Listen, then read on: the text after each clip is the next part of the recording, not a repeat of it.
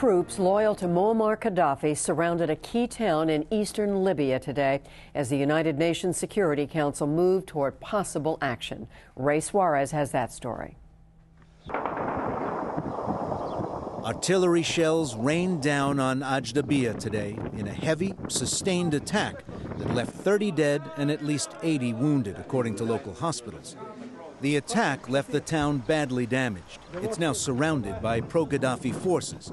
Ajdabiya was seen as the gateway to an expected assault on the rebels' de facto capital, Benghazi, just 100 miles to the north.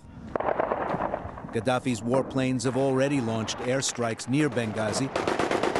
The rebels have claimed they've shot down two of the government planes and launched their own air raids.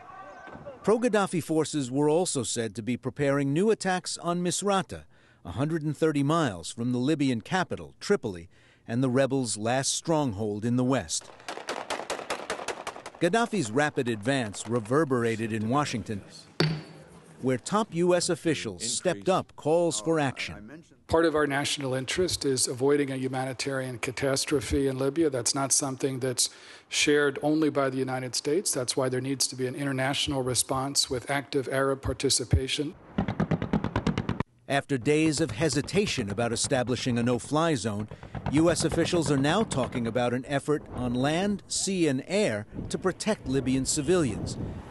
And the UN Security Council debated that and other proposals today as France Britain and the U.S. pressed for a decision.